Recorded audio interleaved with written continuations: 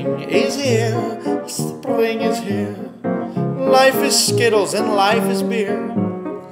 I think the loveliest time of the year is the spring. I do, don't you? Of course you do. But the one thing that makes spring complete for me and makes every Sunday a treat for me. The world is in tune on a spring afternoon when we're poisoning pigeons in the park. Every Sunday you'll see my sweetheart and me as we poison the pigeons in the park.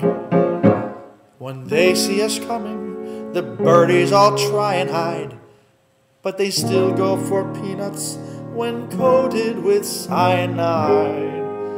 Ah, the sun's shining bright, everything seems alright when we're poisoning pigeons in the park. La la la, la la la la la.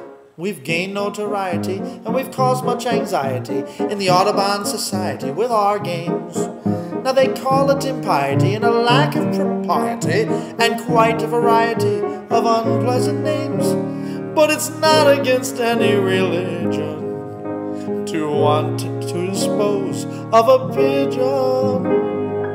So, if Sunday you're free, why don't you come with me and we'll poison the pigeons in the park? And maybe we'll do in a squirrel or two as we poison the pigeons in the park. We'll murder them all amongst laughter and merriment. except for the ones we take home to experiment. Ah, my pulse will be quickening with each drop of strychnine that we feed to a pigeon. Now it just takes a smidgen to poison the pigeon in the park. Sick, isn't it?